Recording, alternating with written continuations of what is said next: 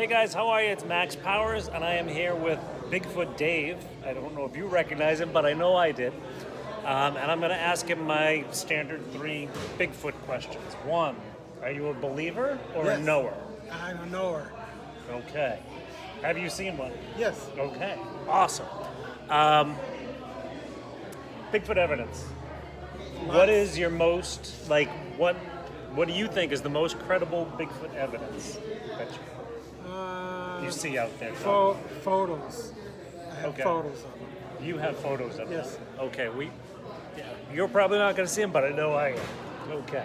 And the last one that I ask everyone is, you know, what do you think this thing is? I think it's more uh, like a human, just a, just an older human, ancient human. That's what I think. Okay. Almost like an Indian tribe.